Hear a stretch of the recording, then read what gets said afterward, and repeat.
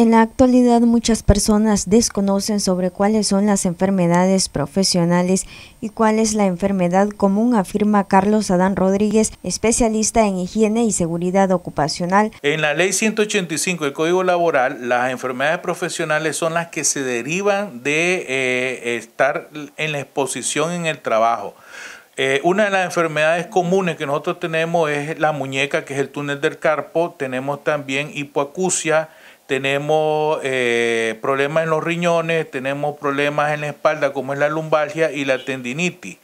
Entonces hay que saber diferenciar. Uno de los puntos que todo trabajador debe saber que debe llevar un cronológico sobre esto de la enfermedad, desde cuando le aparecen los síntomas y con su médica clínica eh, laboral, donde él tiene un contrato, ver si es posible una transferencia a las especialidades, a riesgos profesionales, al hospital que está indicado en su colía del INSE ahí en, esa, en ese tratamiento, en esa recepción que le van a dar en riesgo profesional en su hospital, ahí van a deslucidar si es posible o que él ya está en una enfermedad profesional por el trabajo que realiza.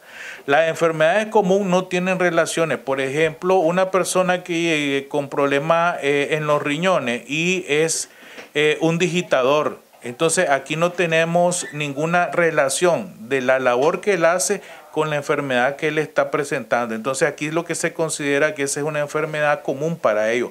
Aunque padezca de los riñones, no podemos relacionarlo con la actividad laboral. Rodríguez dijo que los beneficios que pueden obtener cuando les declara enfermedad profesional es la cobertura. ¿Qué significa cobertura? Que vamos a tener especialistas que nos están viendo, exámenes especializados desde la resonancia magnética, desde exámenes de sangre y desde una mayor observación que me pueden dar en la atención médica, mientras que en las enfermedades comunes se atienden tal cual, como una enfermedad común y cuando ya te dan de alta, la cobertura no tiene mayor alcance que solo el de darte el medicamento que está indicado en eh, la lista del Instituto Nicaragüense de Seguridad Social.